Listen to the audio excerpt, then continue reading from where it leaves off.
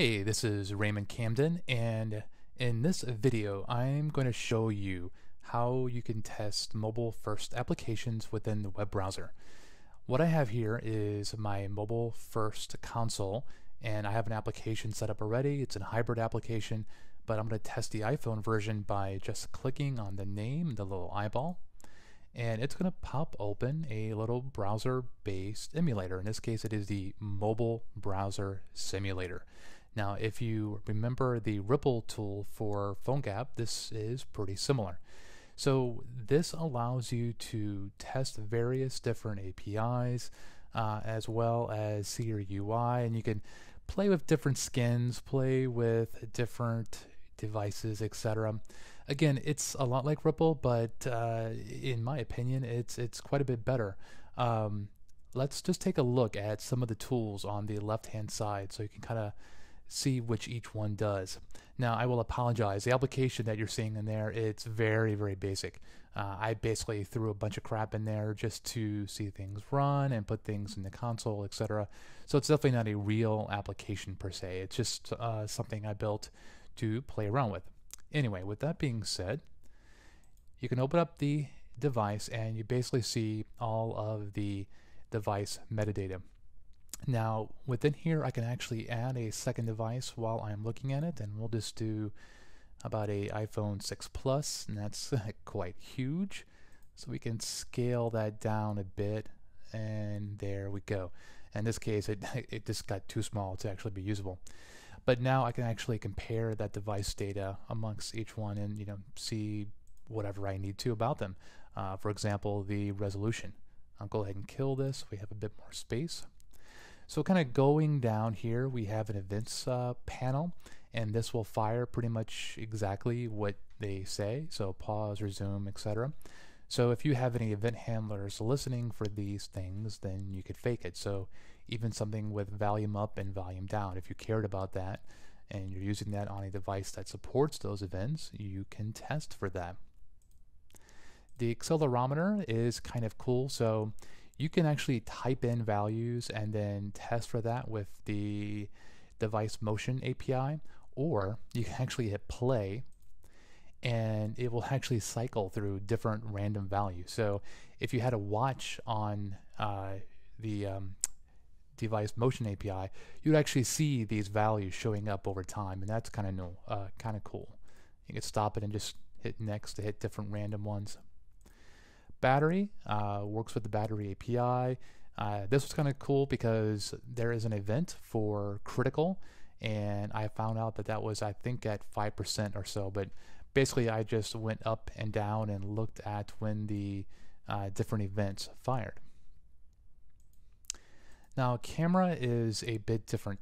Um, what it essentially does is allow you to pick from a few sample pictures. So you can see I have some trees and a barn or a schoolhouse and various sizes as well.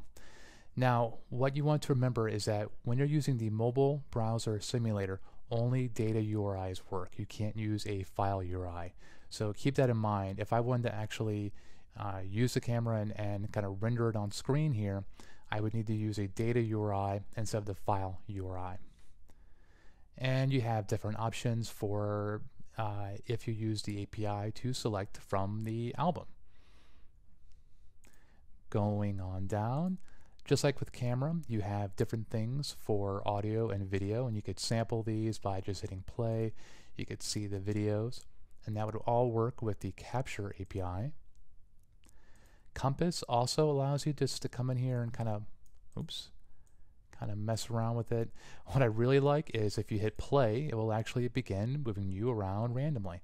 And again, uh, because the API supports a watch on this, you could hit play uh, and then look at your watch handler and see the data change and you know whatever you're using it for. You don't have to actually go in here and manipulate that yourself.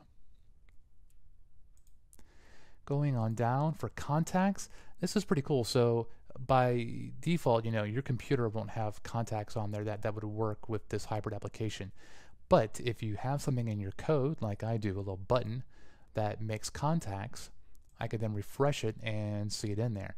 and I could also get rid of them. And this surprisingly actually persists. I did a build, I did a refresh, and they were still there, and that's kind of cool.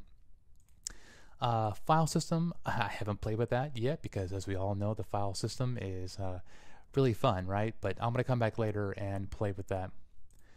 Geolocation, again, allows you to either manually type things in or, you can just kind of click around here and pick different parts of the world. And what's kind of cool is that you can actually hit play and the GPS will kind of randomly move around. And if we zoom in enough, you can actually watch. It's almost like a person kind of walking around. And uh, there you go. Hopefully that shows up on the video. Uh, but again, if you had a watch on the user's location uh, within your app, you could see this working with um, the dot moving around the map as well. Again, kind of cool.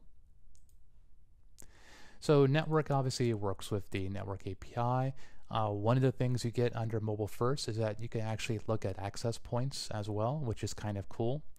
And the last feature, and this one is pretty darn unique. So the mobile browser simulator supports this idea of a scenario where a scenario is a user moving geographically and changing how they access the internet. So you can almost imagine, you know, a person going from the street into a building where they go from a cell network to a Wi-Fi, or maybe they're going underground perhaps and they're going from Wi-Fi to nothing. So you can actually create a scenario that simulates that. So it actually has them moving over time, changing signal strength, and you can monitor your application and see how it responds and you know hopefully it handles it gracefully and you can actually build testing for that so here's going from Wi-Fi to no Wi-Fi and here's going from no Wi-Fi to Wi-Fi and just keep those scenarios and then run them and make sure that everything works correctly. Anyway uh, that's a look at the mobile browser simulator. If you have any questions please let me know